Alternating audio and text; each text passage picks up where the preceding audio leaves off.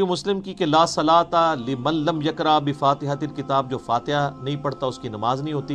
कि अगर तो जहरी नमाजें हैं तो आप इमाम की किरात गौर से सुनेंगे। वो कुरान का हुक्म है वाज सूरत आराफ में, व इदा कुरान फ़स्तमू व अनसितुलकुम जब कुरान की तलावत हो रही हो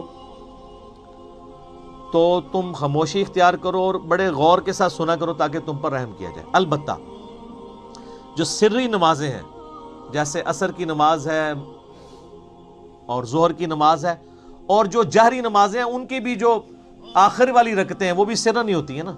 अगर आप देखेंगे ना तो सिर्फ़ छह रखते हैं जिनमें ऊँचा कुरान पढ़ा जाता है। बाकी ग्यारह रखते हैं सत्रह में से, उनमें सिरन पढ़ा जाता है, और नवाफिल तो सारे सिरन पढ़े जा रहे होते हैं। तो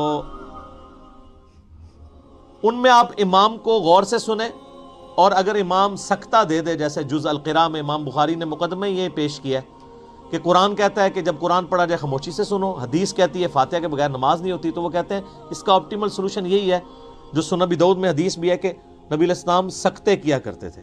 रुकू में जाने से पहले एक सख्ता होता था और अजब उरैरा कहते हैं कि इमाम के सख्ते को फातिहा के लिए गरीमत समझो, जुज अलकरा में। लिहाजा मुस्लिम की जो हदीस है ना, इकरा बिहाफी नफसिक उसमें हज़रत अबू रहरा ये नहीं कह रहे कि इमाम के साथ साथ जी में पढ़ो, वो सख्ते का ही ज़िक्र कर रहे हैं क्योंकि दूसरी जगह उसकी तफसीर मौजूद है।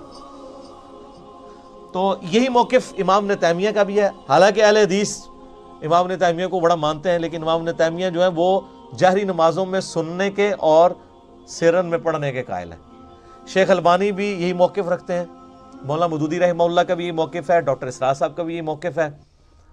और इवन जो सऊदिया से कुरान छपता है असर बयान, उसमें भी लिखा हुआ है कि कुरान और हदीस दोनों पे अमल करना चाहिए। जब इमाम किरात कर रहा हो तो खामोशी से सुननी चाहिए और सख्ते में पढ़ना चाहिए अगर सख्ते में आपको मौका मिले।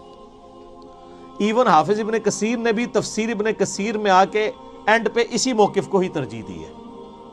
और यही मौकफ इमाम मालिक रही का है, जो सबसे मज़बूत मौकफ है।